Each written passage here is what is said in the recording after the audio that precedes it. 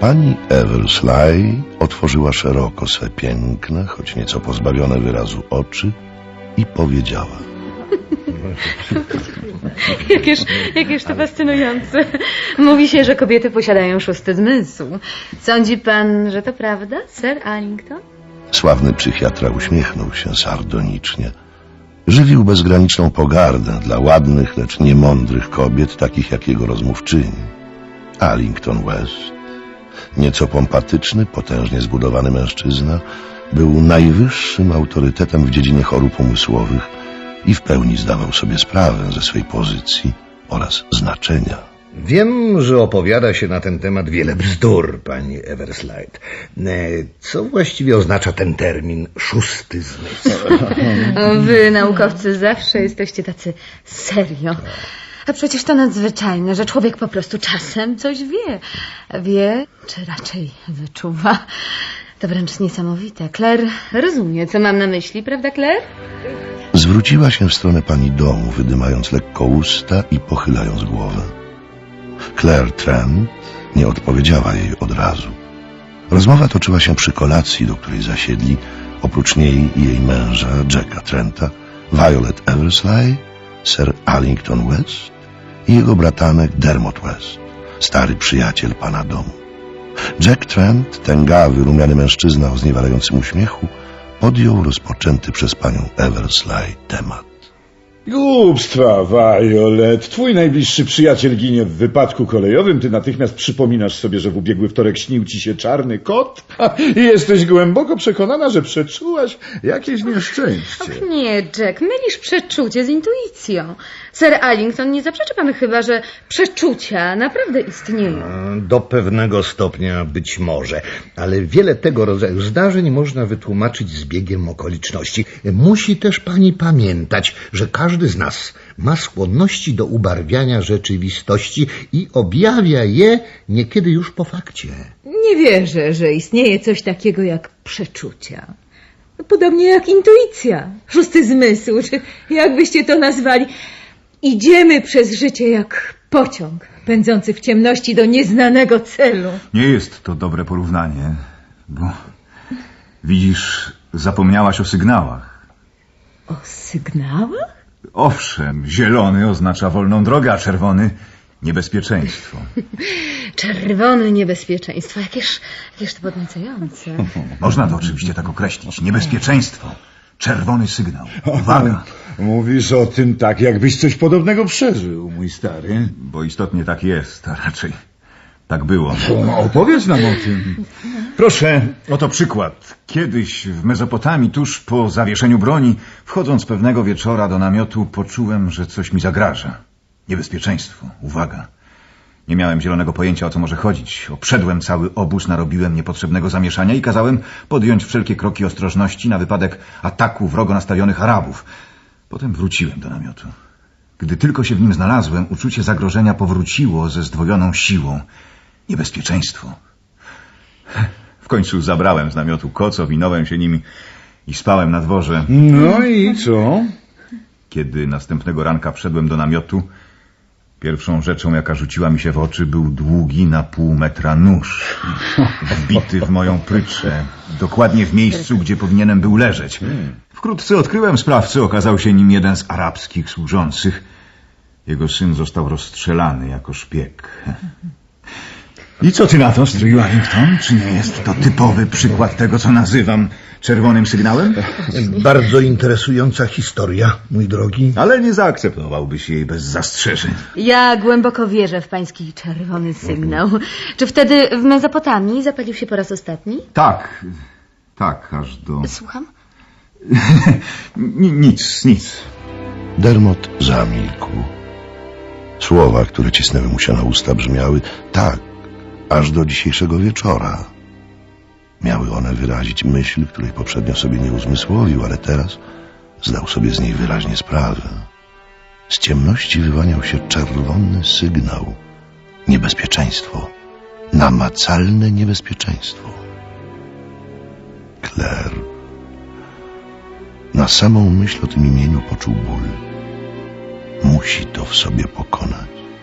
Przecież bywał już zakochany w innych kobietach. Ale nie tak, przemówił do niego jakiś głos. Nie tak. No cóż, rzeczywiście. Ale to uczucie nie było groźne, może bolesne, ale nie groźne. Nie na tyle, by zapalił się czerwony sygnał.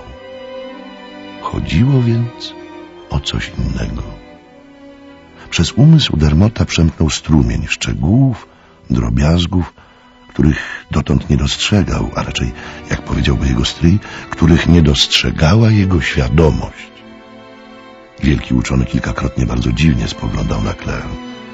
Zdawał się ją obserwować, ona zaś czuła się nieswojo pod jego badawczym spojrzeniem. Drżały jej ręce. Była zdenerwowana, bardzo zdenerwowana, a może zalękniona? Dlaczego była zalękniona? Drgnął i zaczął się ponownie przysłuchiwać toczącej się przy stole konwersacji. Pani Eversleigh nakłoniła wielkiego człowieka do rozmowy o jego zawodzie. Droga pani, czym jest obłęd? E, Mogę panią zapewnić, że im dłużej studiujemy to zjawisko, tym trudniej jest nam je zdefiniować. Wszyscy mamy skłonności do oszukiwania samych siebie. Jeśli ktoś posuwa się tak daleko, by wierzyć, że jest carem Rosji, zostaje zamknięty w zakładzie dla psychicznie chorych. Ale zanim osiągniemy ten punkt, mm, przebywamy długą drogę. W jakim konkretnym miejscu należy postawić słup z napisem z tej strony normalność, z tamtej obłęd. Przyczyną nieszczęścia są zmiany w mózgu. Czasem wywołuje je jakiś bodziec zewnętrzny, na przykład uderzenie, czasem jednak niestety mają charakter wrodzony. Choroby dziedziczne są tak przygnębiające. Na przykład suchoty. Gruźlica nie jest dziedziczna. Doprawdy? Zawsze sądziłam, że jest. Ale obłęd ma charakter dziedziczny. I co jeszcze? Podagra i daltonizm. E, Ten ostatni przykład jest zresztą dość interesujący. Daltonizm przekazywany jest wyłącznie za pośrednictwem mężczyzn, natomiast u kobiet występuje w postaci utajonej. Znamy więc wielu daltonistów płci męskiej, ale żeby kobieta została daltonistką, choroba ta musi występować w postaci utajonej u jej matki i w postaci jawnej u jej ojca. Mm, A taki splot okoliczności występuje niezwykle rzadko. Jest to tak zwana dziedziczność ograniczona płcią. To interesujące. Ale z obłędem jest inaczej, prawda? Mm, Obłęd można przekazać swym potomkom bez względu na ich płeć. Claire wstała nagle, odsuwając krzesło tak gwałtownie, że zachwiało się i upadło. Była bardzo blada, a jej palce drżały nerwowo. Nie będziecie tu długo siedzieć, prawda? Pani Thompson zjawi się za kilka minut. Jeden kieliszek Porto i dołączymy do pani. Przecież przyszedłem tu po to, by zobaczyć występ tej niezwykłej pani Thompson, prawda? Nie, żebym potrzebował zachęty. Chodźmy, Violet, chodźmy. Musimy się przygotować. Oczywiście. Obawiam się, że niepotrzebnie mówiłem o sprawach zawodowych. Zechce mi pan wybaczyć, drogi przyjacielu. Ależ nie ma o czym mówić. Jack Trent wydawał się napięty i zaniepokojony. Dermot po raz pierwszy czuł się w towarzystwie przyjaciela jak ktoś obcy. Tych dwóch mężczyzn łączyła najwyraźniej jakaś tajemnica, której nie mógł udzielić nawet stary przyjaciel. A jednak wszystko to było fantastyczne i niewiarygodne. Jakież miał podstawy do obaw? Kilka dziwnych spojrzeń i zdenerwowanie kobiety? Siedzieli przy winie bardzo krótko i weszli do salonu w momencie, w którym zaanonsowano panią Thompson. Była to tęgawa kobieta w średnim wieku. Miała na sobie okropną suknię z karmazynowego aksamitu i mówiła głośno, dość pospolitym głosem. M- Mam nadzieję, że się nie spóźniłam, pani Trent. Och, Byłyśmy umówione na dziewiątą, prawda? jest pani bardzo punktualna, pani Thompson. Mam nadzieję, że wszystko się uda. Nie umiem pani powiedzieć, jak bardzo jestem zawiedziona, kiedy nie potrafię zadowolić swoich klientów, że się tak wyrażę. Doprowadza mnie to do szału. Ech, Ale mam nadzieję, że Shiromako, mój japoński zwierzchnik, nawiąże dziś z nami kontakt bez większych trudności. Jestem w świetnej formie i odmówiłam zjedzenia zapiekanki z serem, choć za nią przepadam. Dermot słuchał jej z rozbawieniem i zarazem niesmakiem. Ustawiono krzesła w koło i zawieszono lampy w taki sposób, by można je łatwo zapalać i gasić. Dermot zauważył, że Sir Allington nie kwestionuje warunków, w jakich seans ma się odbyć. Doszedł do wniosku, że cała wizyta pani Thompson jest tylko zasłoną dymną, a Sir Allington zjawił się tu w zupełnie innym celu. Przypomniał sobie, że matka Claire umarła za granicą. Wiązała się z tym jakaś tajemnica, dziedziczność. Zmusił się, by powrócić do rzeczywistości. Obecni zajęli miejsca, zgaszono wszystkie światła, z wyjątkiem małej lampy z czerwonym abażurem, która stała na bocznym stoliku. Przez chwilę słychać było tylko równy oddech medium. Stopniowo stawał się on coraz bardziej chrapliwy. Potem Dermot podskoczył na krześle, bo w kącie pokoju rozległ się nagle głośny trzask. Taki sam dobiegł z drugiego kąta. Wreszcie nastąpiła cała seria coraz głośniejszych trzasków. Kiedy ucichły, w salonie rozległ się drwiący śmiech. W końcu zapadła zupełna cisza. Przerwał ją dziwnie modulowany głos, całkowicie niepodobny do głosu pani Thompson. Jestem tutaj, panowie. Tak. Jestem tutaj. Czy chcecie mnie o coś spytać? Kim jesteś, Shiromako? Tak. Ja, Shiromako, umrzeć już dawno temu. Pracuję. Jestem bardzo szczęśliwy. Teraz chce się objawić ktoś inny. Ma bardzo ważną wiadomość dla jednego z panów.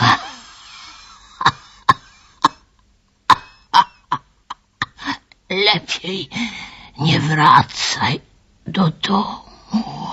Lepiej nie wracaj do domu.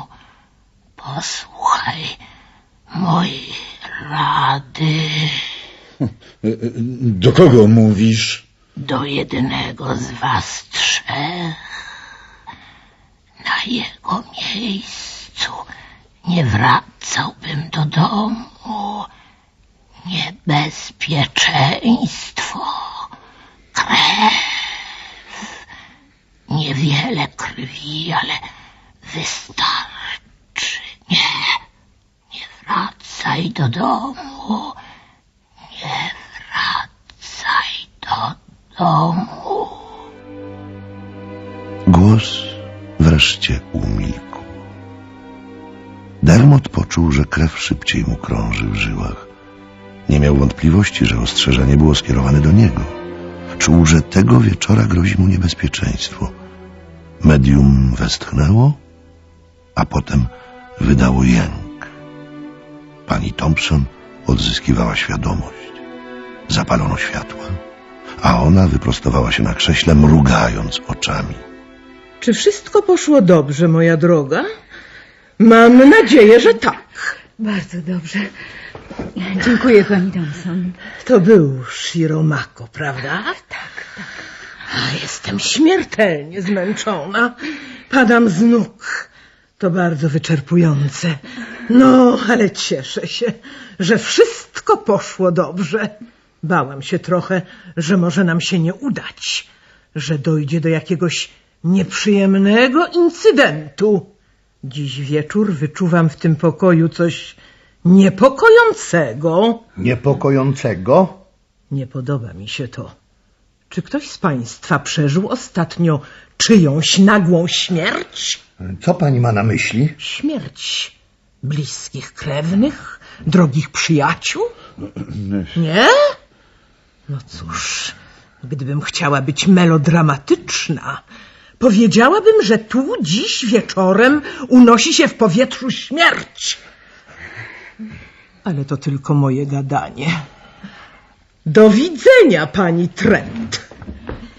Cieszę się, że jest pani zadowolona. Mam nadzieję, że to pana zaciekawiło, Sir Ellington. Niezwykle interesujący wieczór. Droga pani, dziękuję bardzo za zaproszenie na ten seans. Pozwolę sobie życzyć pani dobrej nocy. Mm, Wybieracie się wszyscy na dancing, prawda? No, nie, nie pójdzie pan z nami. Nie, nie, nie, nie, nie, nie, nie. Z zasady kładę się do łóżka o wpół do dwunastej. Dobranoc. E, Dobranoc, pani Everslide. Aha, aha, Dermot. Tak. Chciałbym zamienić z tobą dwa słowa. Y, Czy możesz ze mną wyjść? Dołączysz do reszty towarzystwa w Grafton Galleries. Oczywiście, stryju. Do zobaczenia na miejscu, Trent. Do zobaczenia, Dermot. Podczas krótkiej jazdy samochodem na Harley Street stryj i bratanek prawie ze sobą nie rozmawiali. Sir Allington poprosił Dermota, by ten zechciał mu wybaczyć, że wyciągnął go z domu państwa Trent i zapewnił, że zajmie mu tylko kilka minut. Czy samochód ma na ciebie zaczekać, chłopcze? Oho, szkoda fatygi, stryju. Wezmę taksówkę. A, to świetnie. Nie lubię zatrzymywać Charlesona do późna, jeśli mogę tego uniknąć. Dobranoc, Charlson. Gdzież u diabła? Schowałem klucz. A, o, a musiałem go zostawić w innym płaszczu. Naciśnij dzwonek, mój chłopcze. E, Przypuszczam, że Johnson jeszcze nie śpi.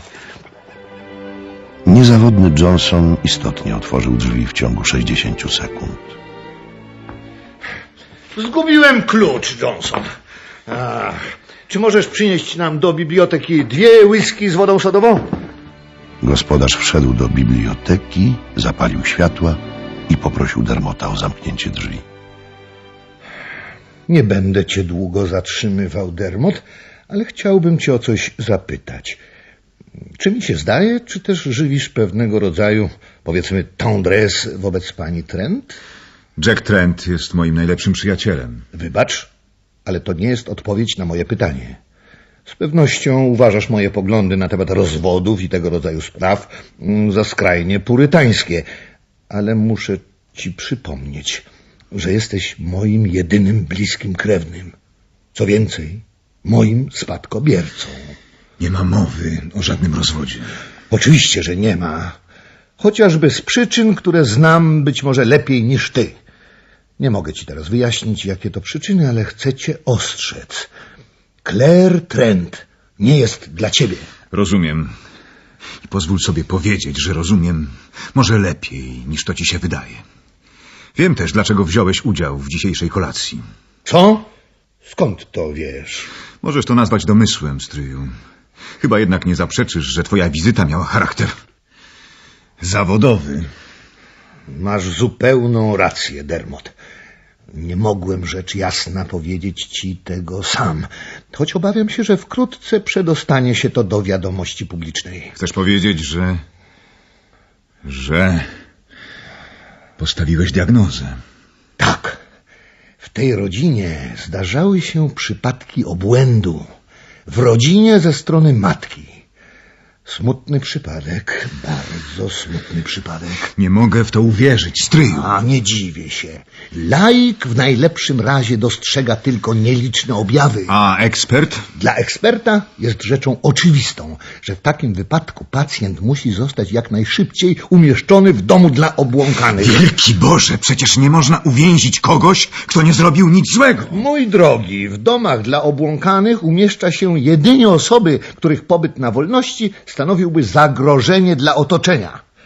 W tym wypadku chodzi o bardzo poważne zagrożenie. Mamy tu z pewnością do czynienia ze szczególną formą maniakalnych skłonności morderczych.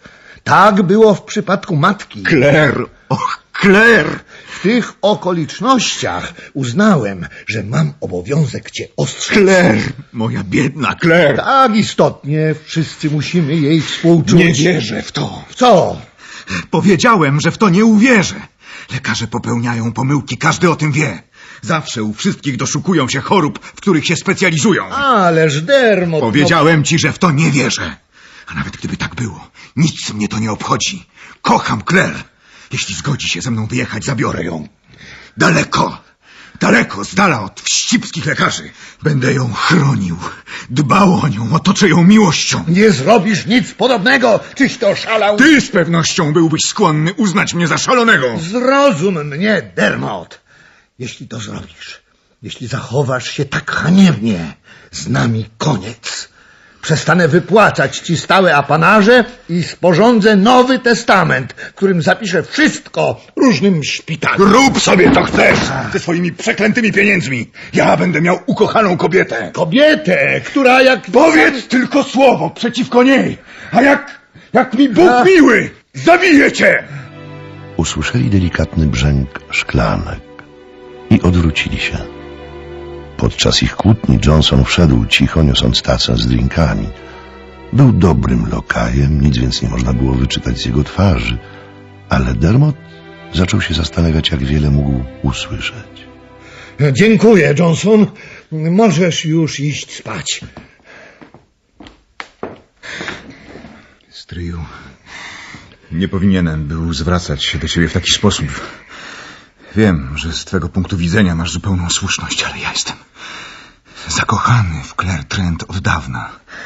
Jack jest moim najlepszym przyjacielem, więc nie mogłem wyznać jej swoich uczuć.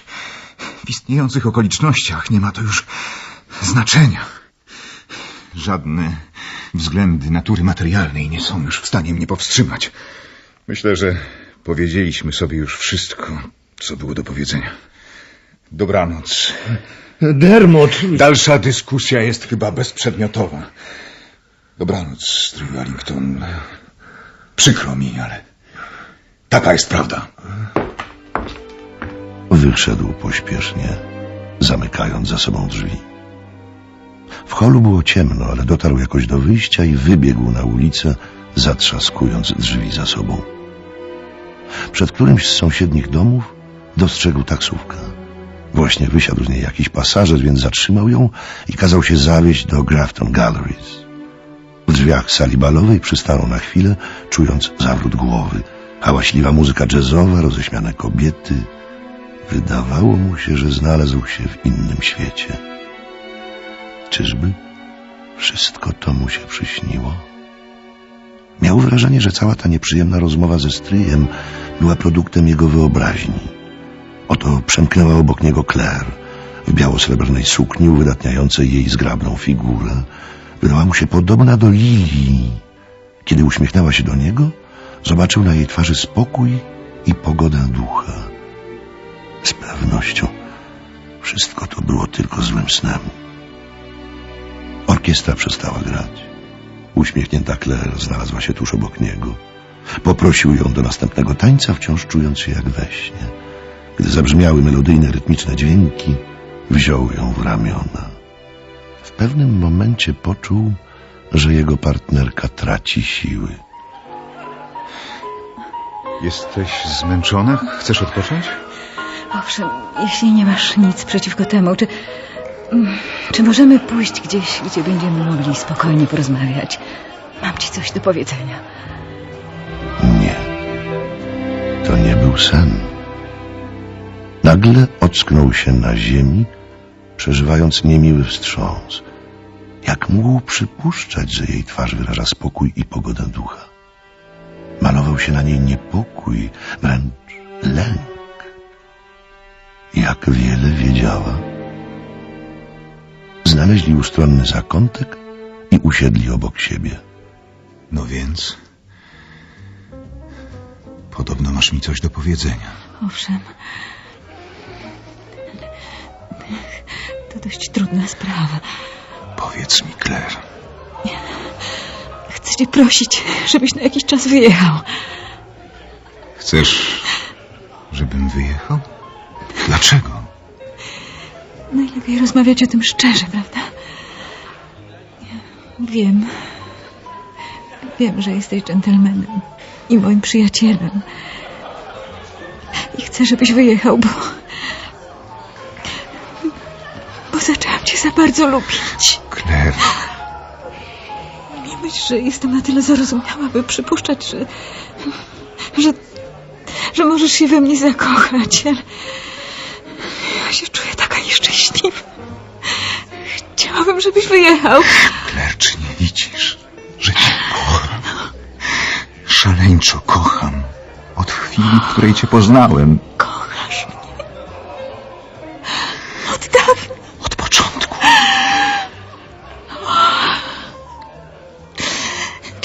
O tym nie powiedziałaś wtedy, kiedy mogłam jeszcze być twoja? Dlaczego mówisz mi to teraz? Kiedy jest już za późno? Dermot bez słowa wstał i odszedł, zostawiając ją samą. Jej słowa tak go wzruszyły i tak nim wstrząsnęły, że nie potrafił dalej jej przekonywać. Idąc po płaszcz i kapelusz, wpadł nieoczekiwanie na Jacka Trenta.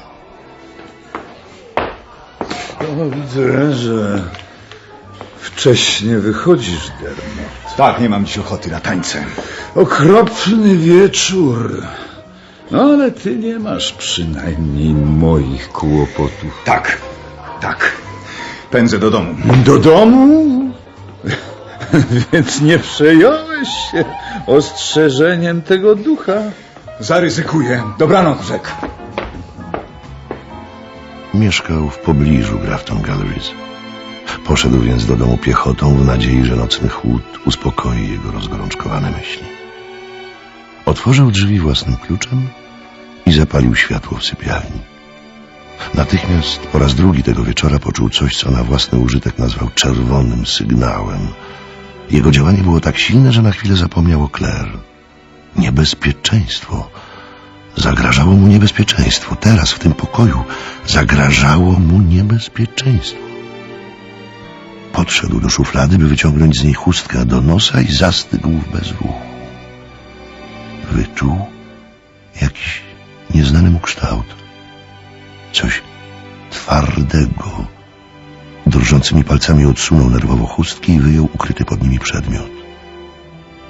Był to rewolwer. Dermot przyjrzał mu się w osłupieniu. Była to nieznanego mu typu broń, z której niedawno oddano strzał. Nic więcej nie potrafił powiedzieć. Ktoś podrzucił rewolwer do szuflady tego wieczora. Mógłby przysiąc, że nie było go tam, gdy przebierał się do kolacji. Miał właśnie odłożyć rewolwer na miejsce, gdy zaskoczył go dźwięk dzwonka. Powtarzał się uporczywie raz po raz, rozbrzmiewając w ciszy pustego mieszkania nienaturalnie głośno. Kto mógł stać przy drzwiach frontowych o tej porze? Instynkt podszepnął mu tylko jedną odpowiedź. Niebezpieczeństwo, niebezpieczeństwo, niebezpieczeństwo. Wiedziony tym niewytłumaczalnym instynktem, zgasił światło, włożył płaszcz i otworzył drzwi. Na progu stali dwaj mężczyźni. Za nimi dostrzegł niebieski mundur. Policjant. Pan West? Pan West... Pan West jeszcze nie wrócił. Czego chcecie od niego o tak późnej porze? Jeszcze nie wrócił, co? Dobrze, więc wyjdziemy i zaczekamy na jego powrót. Nie, nie, nie macie prawa tu wchodzić. Posłuchaj, mój dobry człowieku, jestem inspektor Feral ze Scotland Yardu i mam nakaz aresztowania twego pana. Jeśli chcesz, mogę ci go pokazać. Dlaczego? Y, y, Co, co on zrobił? Popełnił morderstwo. Ofiarą jest Sir Allington West z Harley Street. Proszę wejść. Przeszukajcie dom. Ja... Ja... Ja zaraz wrócę. Zostań, zostań tutaj, mój dobry człowieku. Nie pozwolimy ci się wymknąć i uprzedzić swego pana. Jak się nazywasz?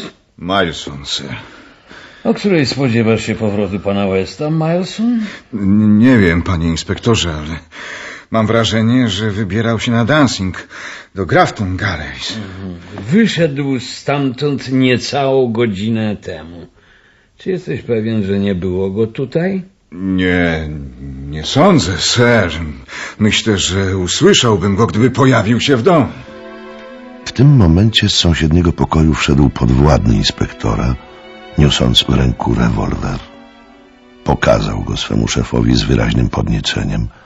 Na twarzy Ferrola pojawił się wyraz zadowolenia. No więc wszystko jest jasne. Musiał wkraść się do domu i wymknąć z niego ponownie tak cicho, że go nie usłyszałeś. Dał nogę. Muszę jechać na posterunek. Coley, zostań tutaj na wypadek, gdyby podejrzany wrócił. I miej na oku tego lokaja. Może wiedzieć o swoim panu więcej, niż by się wydawało. Inspektorze, więc dla pana wszystko jest jasne? Zupełnie jasna sprawa. Morderstwo zostało odkryte niemal natychmiast. Johnson, lokaj Sir Allingtona, położył się właśnie do łóżka i nagle wydawało mu się, że usłyszał strzał. Zszedł więc ponownie na dół. Znalazł zwłoki swego pana, któremu ktoś strzelił prosto w serce. Niezwłocznie do nas zadzwonił, a my przyjechaliśmy na miejsce, by wysłuchać jego zeznań. Ten młody West wszedł do domu razem ze swoim stryjem, kiedy Johnson wniósł tacę z drinkami, tamci zawzięcie się kłócili. Stary zapowiadał, że sporządzi nowy testament, a twój pan groził, że go zastrzeli. Niecałe pięć minut później lokaj usłyszał strzał. No tak, wszystko jest jasne. Głupi smarkas. Tak, tak, no, muszę już jechać. Pilnujcie go. Dermot zdał sobie sprawę, że poszlaki świadczą niezbicie przeciwko niemu i poczuł przypływ przerażenia. Naprawdę groziło mu niebezpieczeństwo. Straszliwe niebezpieczeństwo. Nie widział żadnego wyjścia z opresji. Skupił myśli. Po chwili zaproponował Cowleyowi filiżankę herbaty. Policjant chętnie przyjął zaproszenie. Przeszukał już mieszkanie i wiedział, że nie ma w nim tylnego wyjścia. Dermot poszedł do kuchni. Nastawił czajnik, a potem zaczął pobrzękiwać głośno filiżankami i spotkami. Następnie podszedł szybko do okna i uchylił je. Jego apartament mieścił się na drugim piętrze, a za oknem zwisały stalowe przewody od małej towarowej windy zainstalowanej tam na użytek dostawców. Dermot błyskawicznie wyszedł przez okno i zaczął się zsuwać po stalowej linie. Kabel wrzynał mu się w dłonie aż do krwi, ale on z determinacją zsuwał się coraz niżej. W kilka minut później wychylił się ostrożnie z tylnej bramy budynku.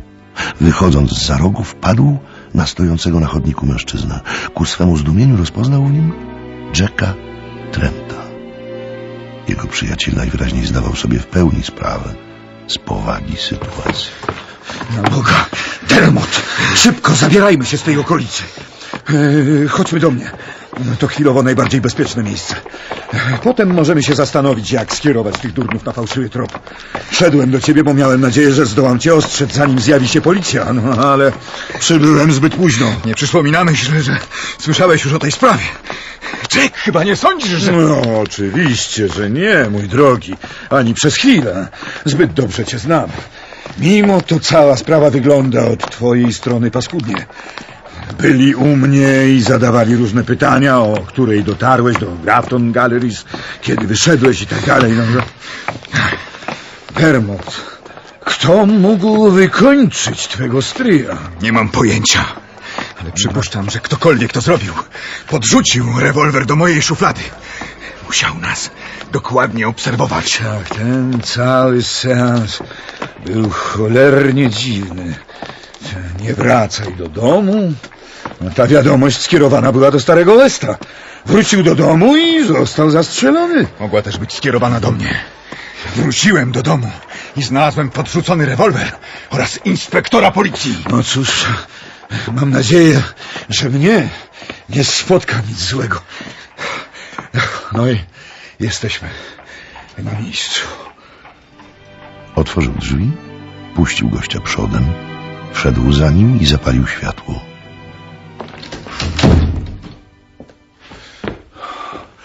Tu jesteś na razie bezpieczny. Teraz możemy zastanowić się wspólnie, co należy zrobić. Zrobiłem z siebie durnia. Powinienem był zostać w domu i stawić czoło oskarżeniom. Teraz widzę wszystko o wiele wyraźniej. Padłem ofiarą czyjegoś podstępu.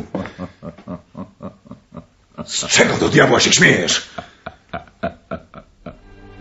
Trent, rozwalony w fotelu, trząsł się od niepowstrzymanego chichotu. W jego głosie i wyglądzie było coś przerażającego, a w oczach pojawiły się niezdrowe błyski.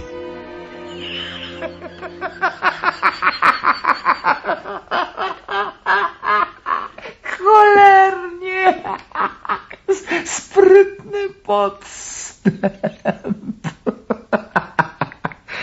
Dermot, mój stary, jesteś skończony. Co zamierzasz zrobić? Zadzwonić do Scotland Yardu. Powiedzieć im, że ptaszek się znalazł i jest zamknięty w klatce. Tak, tak, tak, zamknąłem drzwi, a klucz znajduje się w mojej kieszeni. Nie patrz na drugie drzwi, które widzisz za moimi plecami, prowadzą one do pokoju Klera, a ona zawsze zamyka je od swojej strony. Widzisz, hmm, boi się mnie.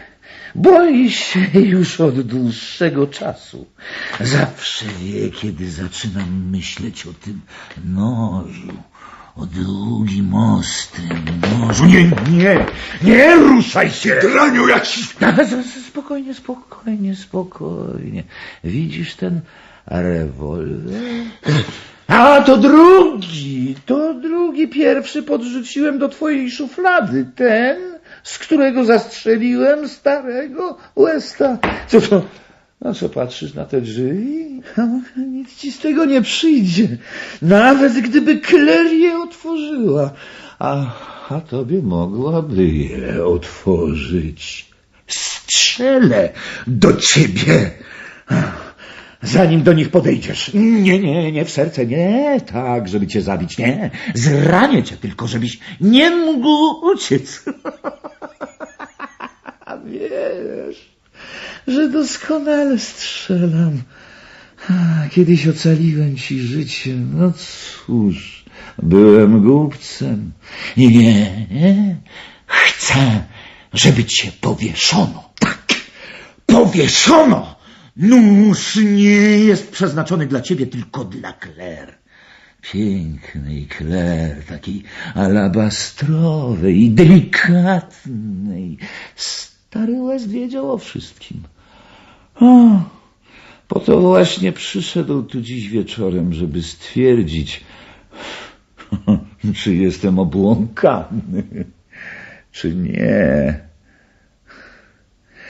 Chciał mnie zamknąć w zakładzie, żebym nie zabił Claire tym nożem. Ale ja byłem bardzo przebiegły. Zabrałem jego klucz i twój również. Wymknąłem się z dancingu zaraz po przybyciu do Grafton Galleries. Widziałem, jak opuszczasz jego dom, więc otworzyłem drzwi i wszedłem do środka. Zastrzeliłem go i natychmiast się oddaliłem. Potem pojechałem do ciebie i podrzuciłem ten rewolwer. Wróciłem do Grafton Galleries niemal równocześnie z tobą, a kiedy się żegnaliśmy... Ha! Włożyłem ci do kieszeni klucz od twojego mieszkania. Ha, mówię ci to wszystko bez obaw. Ale nikt nas nie słyszy. A kiedy będą cię wieszać, chcę, żebyś wiedział, że mnie to zawdzięczasz.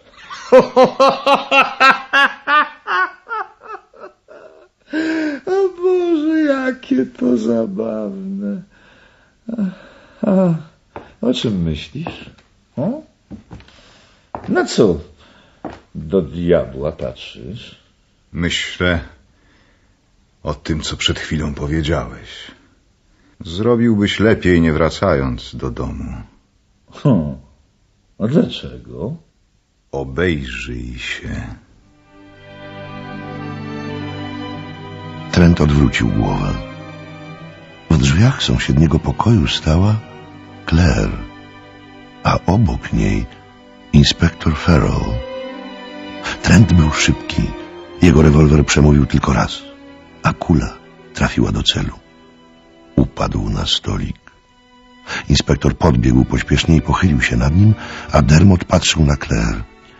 Miał wrażenie, że wszystko to dzieje się we śnie. Przez głowę przebiegały mu chaotyczne myśli. Stryj i kłótnia, straszliwe nieporozumienie, angielskie prawo rozwodowe uniemożliwiające Claire uwolnienie się od obłąkanego męża. Tak, ale teraz... Inspektor wyprostował się. Nie żyje. Nic dziwnego. Zawsze był dobrym strzelcem.